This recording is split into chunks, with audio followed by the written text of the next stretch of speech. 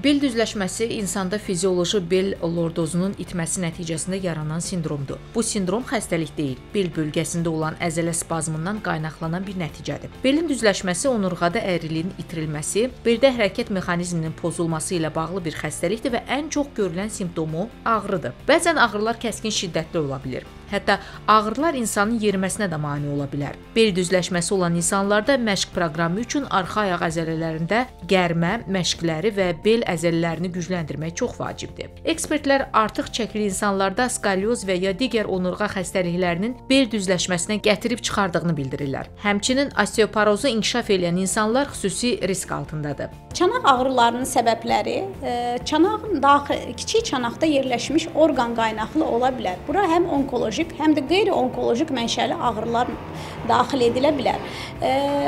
Qeyri-onkoloji ağrılar və ya onkoloji ağrılar çanaq daxilindəki olan sidik hissəsi, prostat vəzi, uşaqlıq, düz bağırsaq, sigmoid bağırsaqdan qaynaqlı ağrılar yarana bilər. Bu ağrılar adətən 6 ayın üzərində mövcuddursa, xronik ağrı qisminə aid edilir və alqoloqun müdaxiləsinin ehtiyacı var və altda yatan xəstəlik müalicə olundu və və ya əməliyyat tətbiq edildi isə və ağrılar keçmədisə xəstə alqoloqa müraciət eləyə bilər. Qaynağından asılı olaraq hər yaş qrupunda rast gəlinə bilər.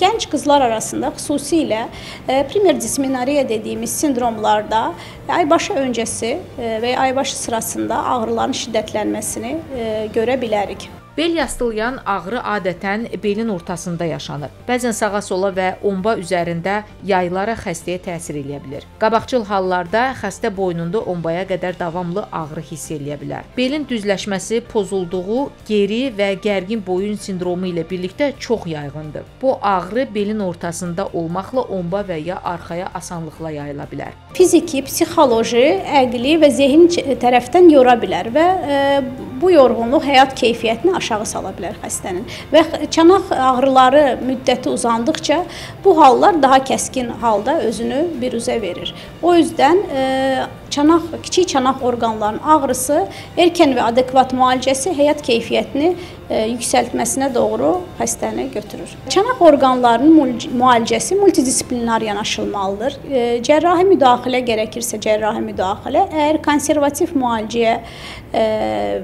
cərrahi müdaxilə ehtiyacı yoxsa konservativ müalicə ilə e, müalicə başlanmalıdır.